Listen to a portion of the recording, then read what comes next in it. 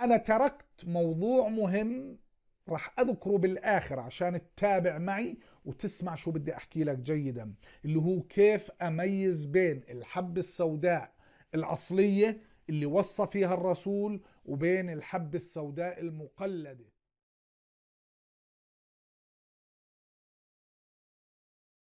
السلام عليكم ورحمة الله وبركاته. حياكم الله وبياكم إخوتي الأعزاء. مع الجزء الثالث من حبة البركة أو الحبة السوداء. هذا الجزء مجموعة من الأسئلة التي وردت إن شاء الله راح نجيب عليها. لا تنسوا متابعة القناة تفعيل خاصية الجرس. أي تعليق مفيد إن شاء الله يستفيد منه الجميع.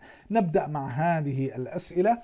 السؤال الأول هل تحفظ بذور الحب السوداء الكاملة في الثلاجة أم لا؟ الجواب نعم يمكن حفظ بذور حبة البركة في الثلاجة. طيب هل تحفظ؟ السؤال الثاني الذي ورد هل تحفظ بذور الحبة السوداء المطحونة والمخلوطة مع العسل في الثلاجة؟ هنا نقول نعم يمكن حفظها في الثلاجة في وعاء أسود محكم الإغلاق. نعم يمكن ذلك. هل تحفظ بذور الحب السوداء والمخلوطة مع العسل في الأماكن المضاءة الجواب لا تحفظ بذور الحب السوداء المطحونة والمخلوطة مع العسل في الأماكن المضاءة بل توضع في وعاء مغلق بإحكام وتوضع في الأماكن المظلمة. السؤال اللي بعده هل يحفظ زيت الحب السوداء في الثلاجة؟ الجواب زيت الحب السوداء. لاحظ في السؤال الأول بذور الحب السوداء. هون زيت الحب السوداء. هنا نقول يمكن أن تحتفظ به زيت الحب السوداء في جو الغرفة وممكن في درجة قليلة جدا في الثلاجة. لا بأس بذلك. السؤال المهم اللي بعده شوف ركز على السؤال اللي بعده. السؤال أتاني كالتالي. هل للحب السوداء قدرة على علاج جميع الأمراض بإذن الله؟ هذا ما دل عليه يكمل هو السائل يقول هذا ما دل الحديث الشريف عليه يعني حسب أحاديث النبي أنه فيها شفاء. فنقول والله المستعان. الأحاديث دلت على أنها علاج من كل داء إلا السام إن شاء الله. لكن نقول طريقة استخدامها ممكن أن تؤخذ مفردة وبها علاج وممكن أن تؤخذ مع العسل ومع الماء وبها علاج أيضا. الآن اللي بقول لك بدها تنخلط مع آه، كرفس بدها تنخلط مع مش عارف إيش هذا لم يكن على عهد الرسول صلى الله عليه وسلم. استخدمها الرسول صلى الله عليه وسلم سفوفا مع الماء ومع العسل وذكرنا ذلك في الجزء الثاني وطريقة استخدامها. السؤال اللي بعده ورد السؤال هل بلع سبع حبات من الحب السوداء يوميا نافع لشفاء جميع الأمراض الداخلية. نقول لم يثبت علميا أن سبع حبات بالتحديد هي التي تعالج لكن الذي ثبت علميا أن مقدار جرام واحد صباحا وجرام واحد مساء بما يعادل ملعقة صغيرة صباحا وملعقة صغيرة مساء وتسف سفوفا وتطبق عليها الفم بتسكر ثمك وبتطحنها جيدا وبتبتلعها وبعدها بتأخذ رشفة من الماء أو قليل من الماء مذاب في ملعقة عسل. عسل مع مي يعني بتذوبهم وبتأخذهم بعد ما تبتلع الحب السوداء. هذا الذي ثبت علميا وهذا أنفع الطرق للشفاء إن شاء الله.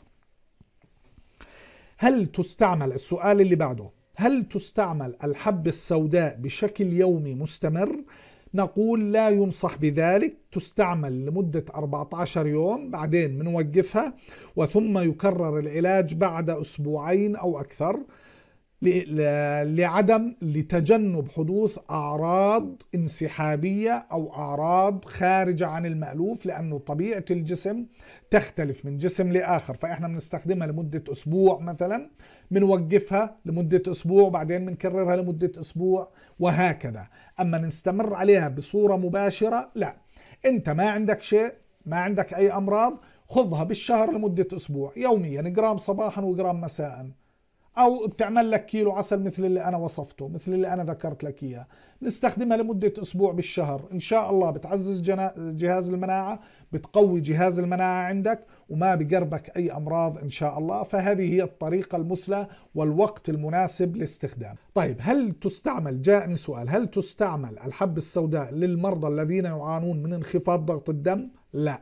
لا تستخدم الحب السوداء لمن يعانون من انخفاض ضغط الدم حاذر واحذر من ذلك. إجا سؤال جاءنا أيضا وردنا سؤال هل تعتبر الحب السوداء قاتلة للجراثيم وخاصة الديدان اللي موجودة في المعدة الديدان الطفيلية السكارس الدودة الشريطية جميع أنواع الديدان؟ نعم مفيدة جدا بفضل لأنه الديدان هذه هذه بتكره شيء اسمه رائحة عطرية. تكره شيء رائحة عطرية بتموت منه. فاستخدام الروائح العطرية اللي هي موجودة في الزيوت الطيارة في الحب السوداء تقتل الديدان والطفيليات الموجودة في الأمعاء إن شاء الله.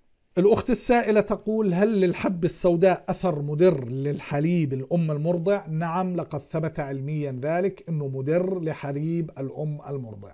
الأخ السائل يقول الأخ السائل يقول هل للحب السوداء أثر على مرضى السكري؟ نقول نقول نعم فهي تخفض نسبة السكر في الدم. آه لذلك نحن نقول أنه ممكن مرضى السكري يستخدموا الحب السوداء مع إجراء الفحص اليومي لنسبة السكر عشان تدير بالك ما ينزل أنت بتأخذ والله Glucophage. تاخذ منظم سكر وتستخدم الحب السوداء بده ينزل كثير عندك السكر. فإحنا بنقول بناخذ الحب السوداء مع الاستمرار على العلاج لكن بدنا نقيس. إذا شفنا إنه قاعد بنزل بنسبة كبيرة السكر وبنخفض السكر بنصير نستغني قليلا قليلا عن منظم السكر أو الكلوفاج. وبنستمر على الحب السوداء لحد ما ينتظم السكر عنا. فاذا العلاج بإيدك والوصفه بإيدك أنت.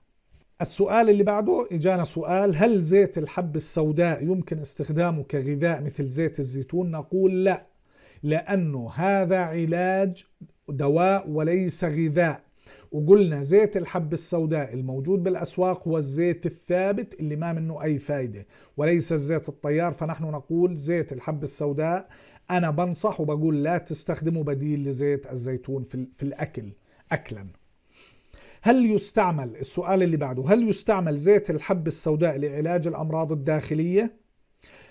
ذكرناها وقلنا زيت الحب السوداء لا يؤخذ شربا. دير بالك تأخذه شرب. لا يعالج الأمراض الداخلية. زيت الحب السوداء ما بيعالج الأمراض الداخلية لأنه عبارة عن زيت ثابت وليس, وليس الزيت الطيار. ممكن تستخدمه كمساج للظهر للفقرات للمفاصل ممكن يليم المفاصل. أما داخليا ممنوع عليك جدا تستخدم زيت الحب السوداء. شكرا لكم. شكرا لجميع متابعينا اللي تابعونا في الجزء الأول الجزء الثاني وهذا الجزء الثالث. ترقبوا معنا الجزء الرابع من الحب السوداء. موضوع طويل جدا ولازم نلم فيه واللي ما شاف الجزء الأول والجزء الثاني راح أترك لكم الروابط بالأسفل. تابعوا الجزء الأول تابعوا الجزء الثاني وهذا الجزء الثالث وراح يكون في الجزء الرابع والجزء الخامس إن شاء الله من الحب السوداء. تابعونا لا تنسوا الاشتراك في القناة تفعيل خاصية الجرس حتى يأتيكم كل جديد. اللي عنده أي تجارب وبعود بأكد اللي عنده أي تجارب بالنسبة للحب السوداء يكتب لنا إياها في التعليقات خلي الجميع يستفيد إن شاء الله. شكرا لكم. كان معكم محدثكم الباحث في الأعشاب وخبير الطب البديل أبو الأمين من المملكة الأردنية الهاشمية. سلام عليكم.